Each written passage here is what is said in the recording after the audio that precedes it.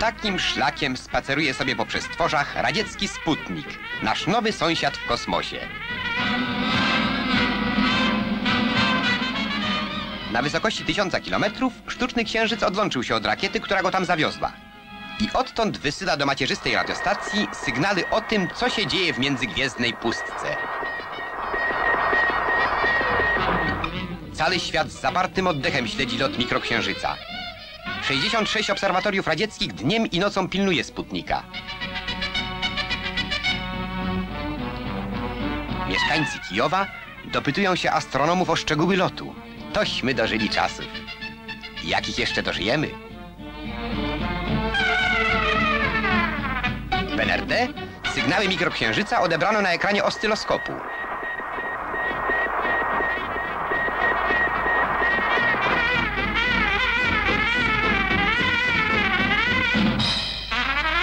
Stany Zjednoczone.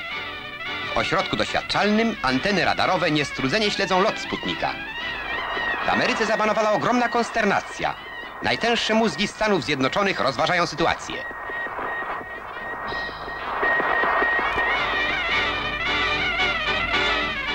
W dniu 40-lecia rewolucji październikowej sztuczny księżyc znowu złoży kurtuazyjną wizytę nad terytorium amerykańskim. Tylko patrzeć, jak wylądujemy na prawdziwym księżycu.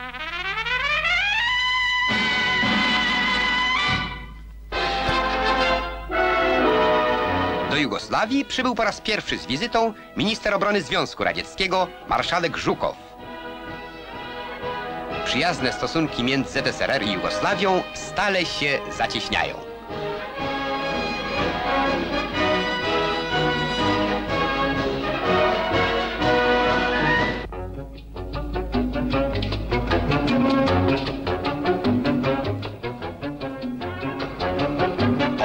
Operator kroniki odwiedził niedawno stolicę Burmy, Rangun.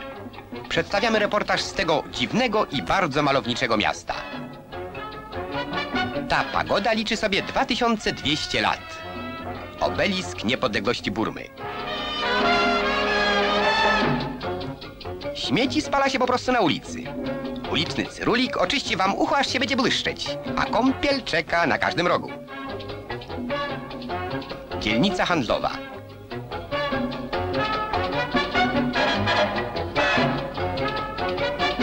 Nawet w rangu nie można spotkać polski papier fotograficzny. Widocznie nie jest taki zły. Są nawet eksportowe Warszawy. Port ranguński często odwiedzają nasze statki handlowe. Przycumował właśnie Marceli Nowotko. A skoro już mowa o Polsce, to mamy okazję obejrzeć silosy ryżowe projektowane przez polskich inżynierów i wykonane przez polskie huty.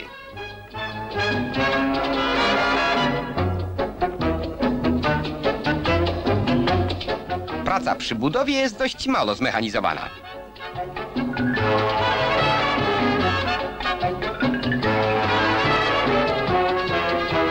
Uniwersytet Ranguński to najnowocześniejszy budynek w całej Azji. Tu spotykamy polskich inżynierów i jedyną studentkę Wydziału Architektury.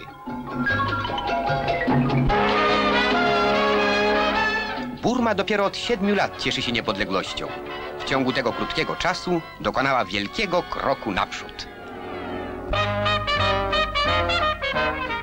Zakaz parkowania. Parkowanie wzbronione. Ale samochody mimo to parkują w niedozwolonych miejscach. Policja hamburska wpadła więc na rewelacyjny pomysł. Jeżeli samochód nie odjeżdża sam, to się go odwiezie. Koszty przewozu ponosi oczywiście właściciel samochodu plus 20 marek kary.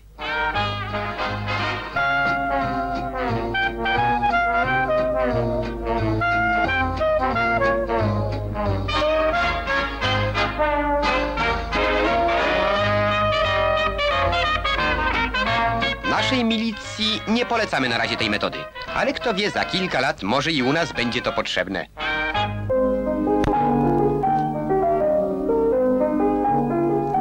Trzeba mieć naprawdę zdrowe nerwy i mnóstwo cierpliwości, żeby budować takie modele.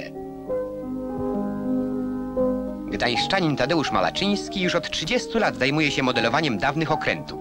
Prace jego zdobią muzea zagraniczne. W tej chwili na warsztacie znajduje się model brytyjskiej fregaty Royal Albert z 1700 roku na specjalne zamówienie Muzeum Brytyjskiej Marynarki Wojennej.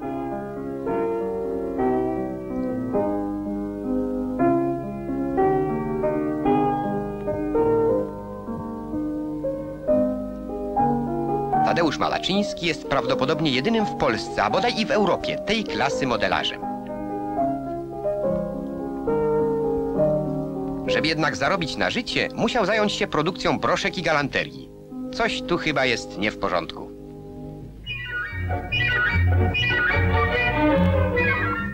W Państwowym Gospodarstwie Rolnym Kolopszczyny dobiegają końca dość dziwne żniwa. Ze stawów rybnych przeprowadza się karpie i liny na specjalne zimowe mieszkania.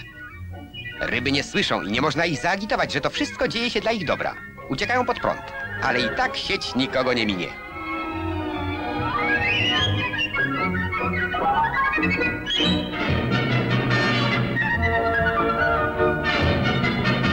O tak, teraz prosimy do Kazi. Do grudnia rybki popływają w niezamarzających schowkach, a w grudniu na świąteczny stół.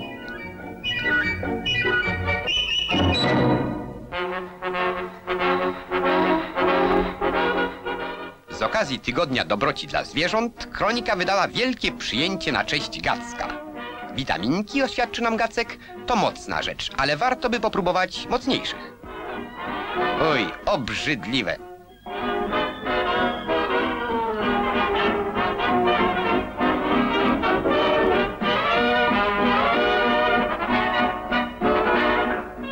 Dziwne, skąd taka zgaga?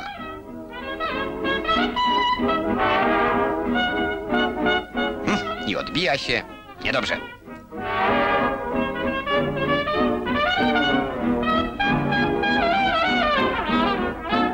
Kto powiedział, że po wódce ma się małpi rozum? Odwrotnie, ma się ludzki rozum.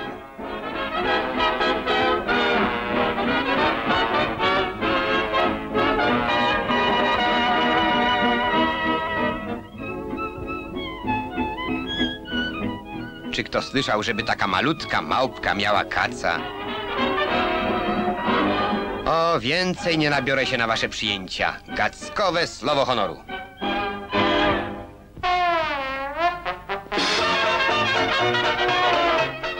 Do wianuszka sukcesów polskich żużlowców przybył jeszcze jeden.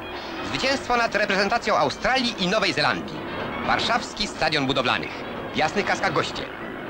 Co prawda repy Australazji nie byli w najlepszej formie, ale Polacy pokazali naprawdę piękną jazdę.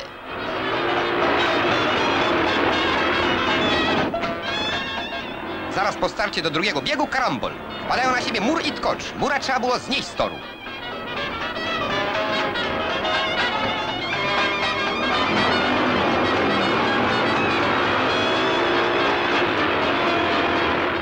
Pasjonujący pojedynek mistrza świata Brixa z Waloszkiem. Polska wygrała 49 do 23.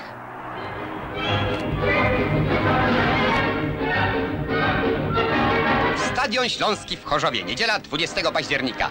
Wielki dzień polskiego piłkarstwa. Na boisku mistrz olimpijski w piłce nożnej drużyna Związku Radzieckiego i reprezentacja państwowa Polski. Sędziuje Anglii Cloth. Gerard Cieślik obchodzi akurat swój jubileusz. Pierwsza minuta gry i pierwszy atak drużyny polskiej. Gra toczy się niemal stale pod bramką radziecką. Nasi chłopcy wykazują zdumiewającą szybkość. Piłka klei im się do nóg. Jeden z najlepszych bramkarzy świata, Jaszyn, ma pełne ręce roboty. Teraz gra przenosi się pod bramkę polską, ale na krótko. Szymkowiak likwiduje groźny przebój, piłka wraca na środek, drużyna polska znów atakuje. 43 minuta gry. Piłkę dostaje Lentner, bierze Cieślik, strzela, gol! 1-0 dla Polski!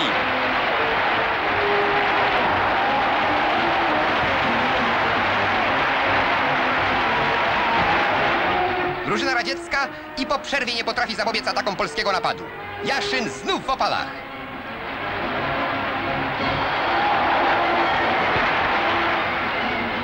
Pięćdziesiąta minuta gry. Piękna główka Cieślika, znów gol! Polska prowadzi 2-0. Nikt w najśmielszych marzeniach nie przewidywał takiego sukcesu. Wreszcie Iwanow strzela honorową bramkę dla drużyny radzieckiej. Sędzia odgwizduje koniec meczu. Wygraliśmy. 13 lat czekaliśmy na ten dzień. Wygraliśmy z mistrzem olimpijskim. Mamy otwartą drogę do dalszych meczów o wejście do finału. Bohaterów meczu zniesiono z boiska, oczywiście na rękach.